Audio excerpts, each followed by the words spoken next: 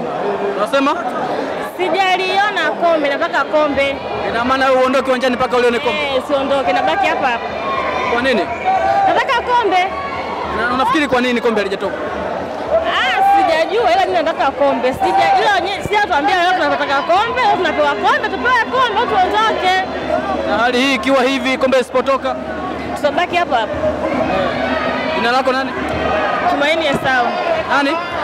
Nimefurahi sana Mesha Kimwaluko, nimefurahi sana kupata ubingwa wa Simba kwa mwaka huu, hasa bingwa mara mbili mfululizo. Pia mimi kama mimi mshabiki nimefurahi sana. Kombe hatujaliona uwanjani. Wewe kama shabiki wasemaje? Ah, kwa kweli nahisi kama uongozi hapa hujatutendea haki kama mashabiki, maana sisi sote tulijiandaa kupokea ushabiki, tulijiandaa kulipokea kombe. Eh, sasa hatuelewi viongozi sijui